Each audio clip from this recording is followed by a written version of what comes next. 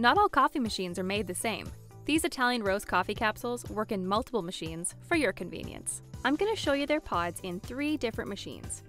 The CaffItaly, Starbucks Verismo, and the K-Fee. They actually work in all three. Just take a capsule, plop it right in, and away they go.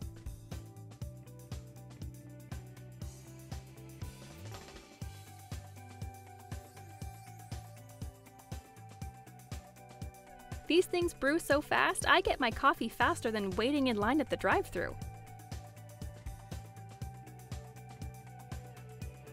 And there you have it. Works perfectly in all three.